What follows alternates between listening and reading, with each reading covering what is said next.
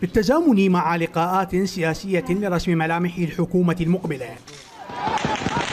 تصعيد غير مسبوق شهدته الاحتجاجات على نتائج الانتخابات.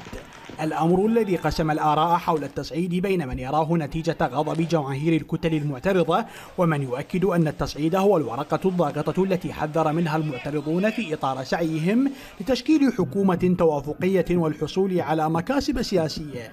بحسب متابعين.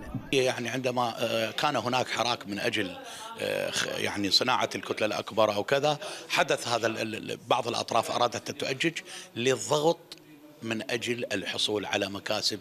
هذه المكاسب ربما آه، لا تكون شرعية. وعلى ما يبدو فإن التصعيد الأخير هو خطوة باتجاه قادم أسوأ في حال بقاء المفوضية والحكومة على موقفها بحسب ما تؤكده مصادر قريبة من المعترضين. الأمر الذي قد يقود الأزمة نحو مزيد من التصعيد. قطعا قطعا هنالك تصعيد في المرحلة المقبلة. قد نشهد آه، قطع المزيد من الطرق وكذلك محاصرة الخضراء قد من الجهات الأربعة. آه، يعني ذاهبون باتجاه انغلاق سياسي تام مع إصرار المفوضية والحكومة والمحكمة الاتحادية على مواقفها.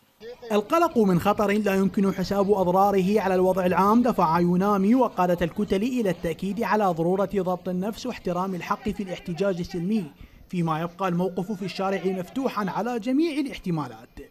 من بغداد علي عبد الكريم الفلوجة الفضائية.